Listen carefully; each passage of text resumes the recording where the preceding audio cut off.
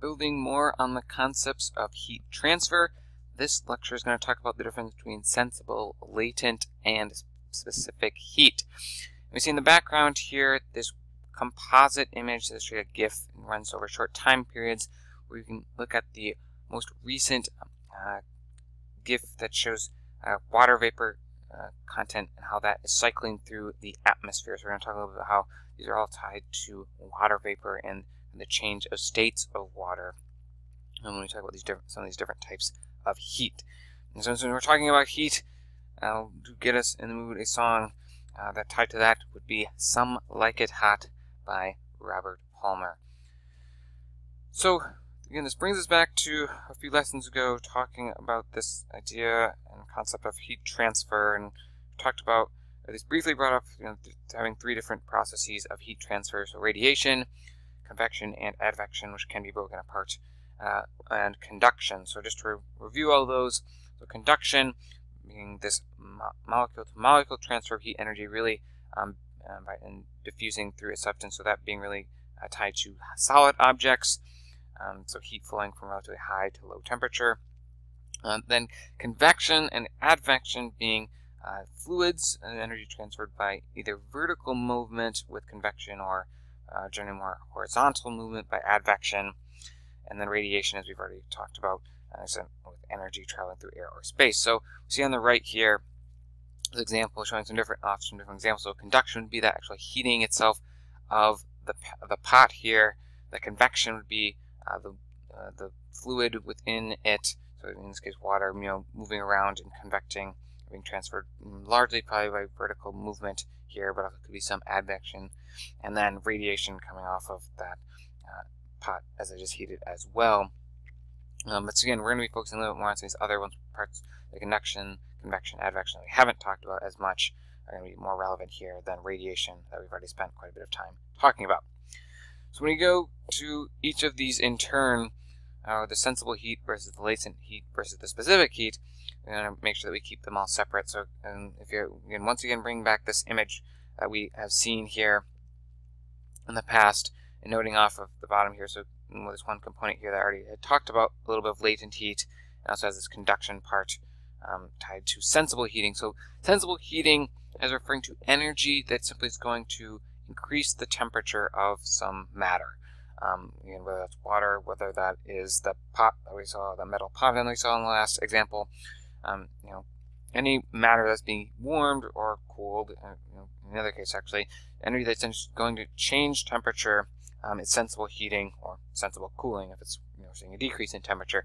So again, that's simply referring to concept of temperature as we might think of it. So it is sensible. We you know, have a you know, thermometer, for example, to sense it, to be able to detect, detect it. Um, contrast that to latent heat, which literally means hidden heat, um, and it's really meant to invoke this idea of energy that is being used to convert a state of matter. So we'll look at that more in, in some coming slides, but an example would be changing liquid water to water vapor. That would be heat, latent heating, or I might have latent cooling of water vapor going back to liquid water, for example. So again, there's a change of state, and we want to make sure that with latent heating to note that there is no temperature change associated with that. Um, it's simply a change of conversion of state of that matter. There's no temperature change with that. If there's any temperature change, that goes into uh, that sensible heating. So that's our sensible versus latent heat. And we'll also throw in a third concept that has uh, heat tied to it. So this a concept of specific heat. You want to note that is the amount of energy that is required to change that matter, whatever it may be, by a set temperature. And so we will come back a little bit more to this in some future lessons as well. But for now, we can note that on kind of a scale or spectrum, water has a very relatively high specific heat, where oftentimes a lot of other surfaces, metals, for example, and land surfaces, relatively have a much lower specific heat. So it basically what that means is it takes a lot more energy coming into water to increase its temperature, or conversely, a lot of um, energy that needs to be taken out or released by the water um, or any form of water that water's in to cool it, while land generally heats up or cools off a lot more quickly because it takes a lot less energy uh, coming in are, are being released to warm or cool it. So focus here once again on sensible and latent heat. Um, note some key components here. We're going to be talking about this with water. So to change water from one state to another, we need, once again, heat must either be absorbed or released. And to note that essentially the heat uh, with latent heat must be enough to break the hydrogen bonds when going from, especially when going to higher states, energy states, so from ice to water or from water to water vapor, um, knowing that water is H2O, so two hydrogen uh, atoms and one oxygen atom.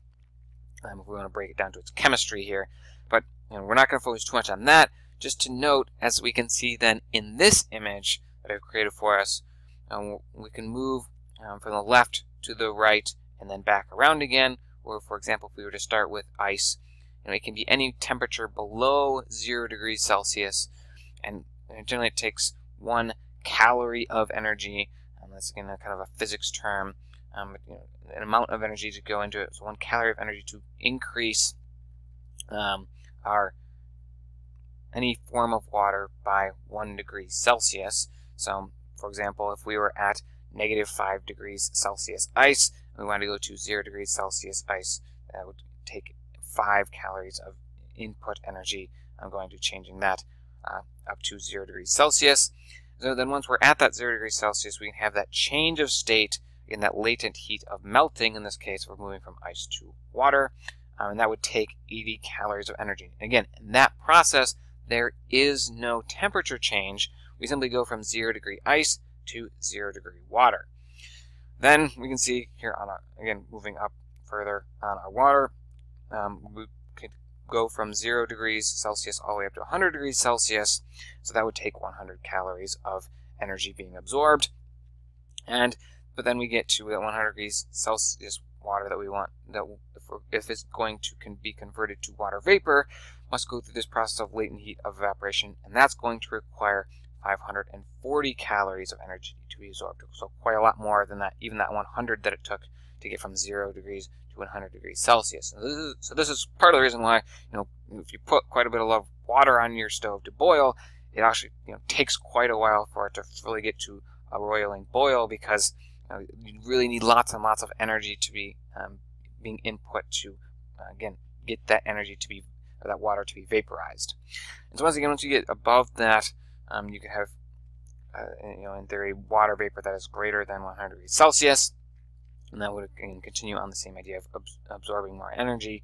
Um, but generally, also, uh, then we can move kind of in the opposite direction in the same type of way. So again, 500 540 calories uh, now to be released from water vapor uh, to uh, become back to liquid water um, with this latent heat and condensation.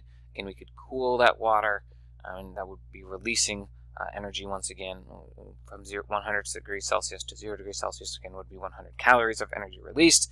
And then similarly, we have down here at our latent heat of freezing, um, having that 80 calories released once again to turn from water to ice. So again, key point, once again, to simply emphasize, is we, you know, uh, anywhere uh, where we have these latent uh, heat components that we just looked at, and where we're changing a state and we're not changing temperature. Otherwise, um, we have that sensible heating. We're actually changing temperature uh, within uh, and, and keeping within that same state. So, some examples um, in trying to figure out what is sensible heat and what is latent heat. So if we were to take an example of a lake, you're out on a lake, and you know the sun is coming in, and the water is absorbing that incoming solar radiation, and then it is increasing the temperature of that lake. Are we looking at sensible or latent heat? Similarly, if water, if that energy is coming in, it's being used to evaporate water off of that surface, is that sensible or latent heat? So if you take a second here, you think about it, we just went through this uh, the extensive examples. Hopefully you're able to, you can say, okay, yep, I know that for the first example, we would be looking at sensible heat, and for that second example, we would be looking at latent heat, because in the first example, we're changing its temperature. We can sense that. We have a thermometer. We can detect the change in temperature. Whereas in the second example, we were changing its state, um, and so you know there was no temperature change along with that. we simply changed its state, and so that energy was, that was required was uh, latent or hidden, not detectable by you know, a thermometer, for example. So, um, continuing to tie this in, some other things we've already talked about is with water vapor. We've already reviewed a little bit how that's a greenhouse gas. Uh, note also that, again, because um, you know, it's an important uh, greenhouse gas in the atmosphere because water can absorb long outgoing long-wave radiation, which generally leads to net surface warming, but it also can reflect insolation or that incoming shortwave radiation, which can lead to surface cooling. Because we saw in some previous ex um, examples of images that I've shown you, quite, there's quite a bit of percentage of reflection off of clouds uh, from that shortwave incoming reflection, but also then uh, you know, quite a bit of what is the re-radiation of long-wave radiation um, within Earth's atmosphere is also coming from uh, clouds. And so this is an example that we'll get to in later as well. Um, why, for example, in, in, Eugene, oftentimes if you if you really notice, um, and this is more prevalent, especially in the winter months, or kind of late fall, winter, early spring, where oftentimes actually the nights that end up maintaining a warmer temperature overnight are the nights that have a lot more clouds and or rain compared to the nights that are clear, oftentimes are much colder because energy is able to escape much more out and is not held in uh, or maintained, re-radiated by those clouds. So with water vapor, you should note that it's really never uniform its distribution across Earth. It's rapidly changing. They're kind of always at some um, fluctuation around what we could call an equilibrium or relatively steady state of how much um, water vapor is in the air. Again, as I showed you at the beginning of to open up this lecture, I have this example here um, with this link that you could go to, um, some, uh, maintained by the University of Wisconsin. You can go and you can watch a short GIF here.